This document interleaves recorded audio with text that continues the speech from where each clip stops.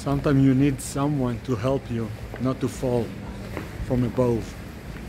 What about some umbrellas?